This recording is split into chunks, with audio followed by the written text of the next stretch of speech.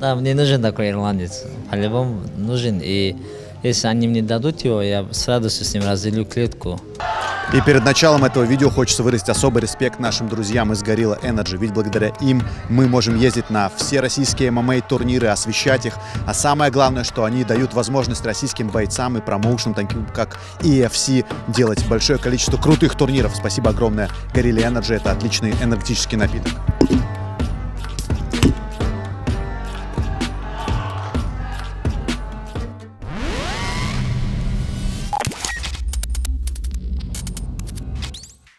Слева от меня стоит Магомед Магомедов. Приветствую тебя. Рада видеть. Э, Расскажи, какими судьбами на турнире UFC? Да, я приехал, этот, э, ну, вчера прилетел с Соединенных Штатов, и этот, э, здесь турнир дерутся этот, мои близкие, Артур Гусейнов, Абдурахман дрался. Приехал просто посмотреть, первый раз на Eagles ММА на этом турнире. Забитым как раз это приехали посмотреть, поболеть за наших ребят.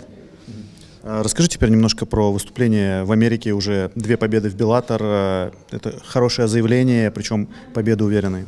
Да, этот, э, я два года не дрался, и сейчас буду стараться как можно чаще проводить бои. Уже как бы возрастной боец, тоже 29 лет, и хочу до конца карьеры провести как можно больше боев, радовать своих болельщиков. И, и самые большие амбиции у меня этой лиги. Хочу побыстрее добраться до титула. А что Резван вообще говорит по поводу перспектив? То есть э, сколько нужно боев провести для того, чтобы тебя там в Америке заметили, чтобы дали, ну, может быть, не титульный бой сразу, а какого-то интересного спортсмена, который э, в твоем весе в Беллатор есть?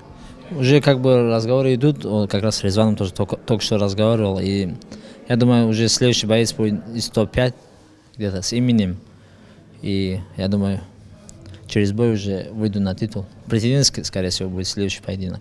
А в контракте сколько боев прописано? У меня 4 боя, ну, на время там, меня до следующего апреля у меня контракт. Последний бой у тебя получился очень зрелищный, победа была очень зрелищной, и в Твиттере начали все писать в англоязычном, э, ну, там самый распространенный твит был, типа, как э, его могли не заметить UFC, типа, как его могли упустить UFC, а какую ты получал реакцию на свою победу, ну, то есть самую такую, может быть? Ну, я реакцию, что я-то свой уровень знаю, и я знаю, что я хочу драться с самыми сильными. То есть, и хочу, как бы сказать, какой лиге не находился, хочется этот, э, быть номер один, и я следующий бой еще сильнее себя заявлю, еще красочный постараюсь выиграть, и еще именитого бойца какой-нибудь, или Петица, или там Галахер, кто там впереди меня стоит, я хочу их всех размазать, доказать, что наша школа намного лучше ихней. А ты уже готов э, в Твиттере или там в Инстаграме разгонять какие-то темы с жесткими вызовами? Да, я готов. Сейчас просто чуть работа над английским идет. Вы сами знаете, в Америке английский язык это немаловажная вещь. И как бы стараемся сейчас. Следующий бой, после боя постараюсь на английском заговорить, как-то привлечь еще больше болельщиков. И кого-нибудь. Ну, я, я думаю, после следующего боя и так за пояс только буду газовать. Как ты думаешь, может ли Беллатор проявлять к тебе больше интерес, потому что ты побеждал э, чемпиона, будущего чемпиона UFC Петра Яна, и, соответственно, чемпион Беллатор может быть тем человеком, кто побеждал чемпиона UFC? Э, Да, само собой, тоже, когда при подписании тоже на это тоже, я думаю, они смотрели. И интерес есть у них, они, я думаю, хотят тоже, чтобы я побыстрее за пояс подрался. И Петя, это, по идее, это не потерял титул, все знают. Он как все считают этот, да, чемпионом. И нормально. И можно второй вопрос. Когда ты сделал бросок прогибом, а, комментатор, по-моему, сравнил его с броском Федора Емельяненко с Кевином Рэндалманом. А, Слышал ли ты это вот от англоязычного комментатора, когда пересматривал? И приятно ли это? Наверняка ты помнишь бросок э, Рэндалмана в том бою. А, этот первый поединок, э, когда первый поединок. А, а, Когда он его за Кимуру взял? Да, мне скидывали, да, мне скидывали, что сравнивали. Да, очень приятно, что когда я начинал, это на, на Федю так смотрели, и когда сравнивают с его боями, очень приятно. А у тебя есть какая-то сейчас установка, что не нужно больше осторожничать, и если ты в Америке, то нужно вот показать, опять же, всю красоту поединка?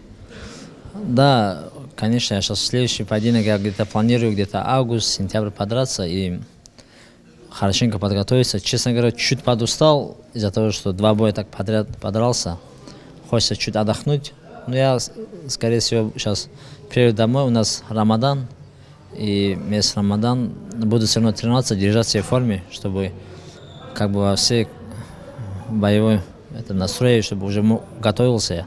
А не пришлось бы там после Рамадана, если отдохну сейчас резко, и придется потом форму набирать. А сейчас хочу держать форму, чтобы какие-то навыки еще лучше развить, чтобы бою мог еще четко подраться.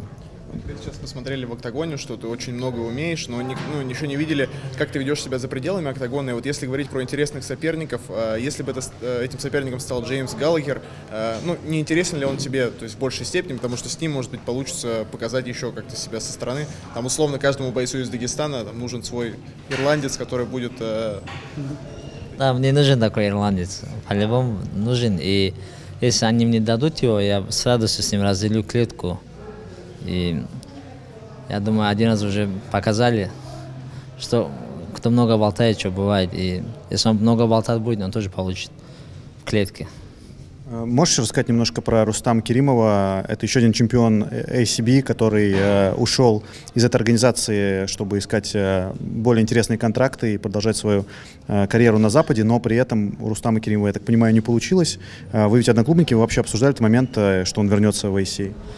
Да, вот это Рустам дол- очень долго ждал, как и я. И команда, я как я посоветовался, и команда, у него и визы нету. В чем проблема-то большинство больше визы нету. И как-то ему один раз отказали, если не ошибаюсь. И смысла не было долго ждать. Я- Если, если я ему хорошие деньги предложила тоже в России, для России это хорошие деньги, и Рустам, и команда, и тренера все решили, что он должен драться. Сколько можно уже простаивать? Время-то идет, А вообще вот э, все говорили про Рустама Керимова после того, как он э, стал чемпионом, э, что этот парень очень перспективный из вашего зала и может себя очень круто показать в UFC, в э, в любой другой лиге. Как ты считаешь, если бы он сейчас подписался в Беллатор или в UFC, то он сейчас занимал бы какие-нибудь топовые позиции? Определенно, определенно он с хороших пацанов выиграл и очень уверенно выиграл. Чего стоит один Рахман Дудаев? Что за война была? Многих крепких пацанов выиграл, он себя показал бы. Но у нас в зале очень много таких пацанов. Это Имам Хизри. Если он ворвется куда-нибудь, он себя покажет. Хасан подрастающий. У нас подрастающие вот такие пацаны с рекордами очень много. Я думаю, этот э, Рустам, само собой, показал себя очень хорошо. В любой организации, этот, я думаю, он за титул претендовал минимум. Ты к этому бою, вот к последнему бою Беллатор, готовился очень много в UFC Performance Institute с командой Хабиба. А, насколько, ну то есть, что нового ты оттуда узнал, э, так скажем, чем тебе это помогло в основном? Да, этот подготовку я прошел, можно сказать, э, с Хабиба командой, за что им большая благодарность, за то, что приняли команду. И я много чего набрал в плане партера, в плане фи- ну, фи- физухи. У меня соперник-то другой был, поменялся на ходу. Я э, был готов бороться, драться, биться. Вообще ко всем сценариям был готов. И как-то это бой тоже, ну, не скажу, что налегке, ну, без, мне вообще после такой подготовки вообще паники никакого этого не было. Я так уверен был, что я размажу любого, кого перед- передо мной поставят. И а, набрал очень такую отличную, отличную форму с, это, с Хабиба команды. Ты говоришь, что э, хочешь бороться как Хабиб и махать ногами как забит. И вот э, реакция одна была Хабиба, что типа это борщ. А какую еще реакцию ты получал? Там много реакций было. Ну, это... Я стремлюсь к этому. Меня, в принципе, так и есть у меня. У меня чуть Хабиба партер и чуть Забита. Я бью развороты, там, ногами, руками, стараюсь там под Забита, там, какие-то удары у него брать. И партер я смотрю, Хабиб как борется. Что-то оттуда, что-то оттуда беру. И как-то я своеобразный. У меня получился свой стиль между Хабибом и Забитом. Если так присмотритесь к моим боям, что-то в этом роде есть стиль. После боя Петра Яна и Алджимейна Стерлинга, Алджимейн Стерлинг был также в UFC Performance Institute вроде бы. Вот Умар с ним, например, там фотография была у Алджимейна на страничке, такой момент провокации. А ты э, видел, ну, Стерлинга там после боя с Петром Яном, может быть, вы говорили?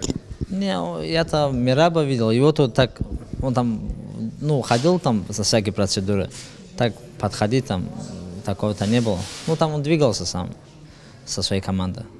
Так, такого, как Умар, Умар, походу, тоже на процедурах был Умар, они встретились. Такой закидон сделал Стерлинг, интересно, для российской публики. Три штук. Спасибо всем, кто смотрит наши интервью, расследования, новости, аналитику и топы. Не забывайте оставлять под нашим видео комментарии и награждать нас за тяжелый, но при этом важный труд по развитию российского ММА лайками. Обязательно подписывайтесь на наш YouTube канал, сообщество во ВКонтакте и Инстаграм, где собрана самая интересная, актуальная и инсайдерская информация из мира ММА. Ну а если кто-то хочет поддержать рублем наш проект, то милости просим. Реквизиты для доната есть в описании к этому ролику. А каждый задонативший может оставить свое сообщение, которое появится в конце наших видео.